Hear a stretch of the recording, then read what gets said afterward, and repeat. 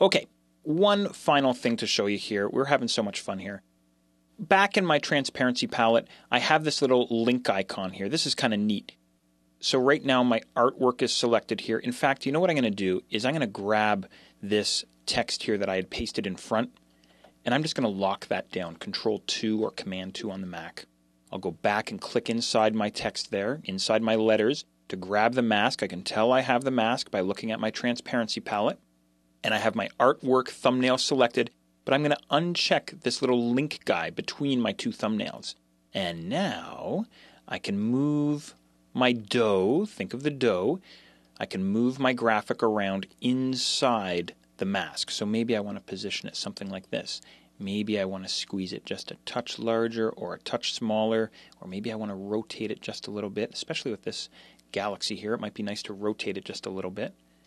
Maybe something like that. Hey, that's looking pretty good. Okay, back to my move tool here. By the way, I just hit R on my keyboard to switch to my rotate tool and then back to V for my move tool. So that's looking pretty awesome there. I'm pretty proud of myself. And the other thing that I could do, of course, is I could go back to my mask thumbnail. And what I could do, although it's not really a good idea right now, is I could move the cookie cutter around a little bit. I could do something like this, right? And it's kind of hard to see what's happening there because I have this locked object over top.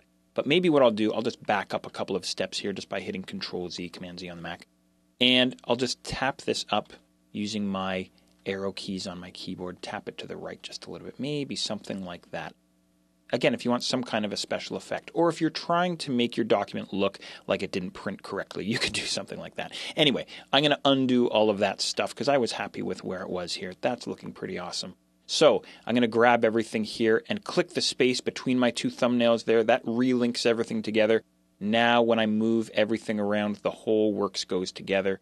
But again, I have that locked object, that locked outline on top, so it's probably a good idea to unlock it Control Alt 2, and then I'll grab the works here, group it, Control G, Command G on the Mac, and now everything's one single unit. I can move it around as one. So there you go. There's some cool stuff with your opacity masks. Have lots and lots of fun.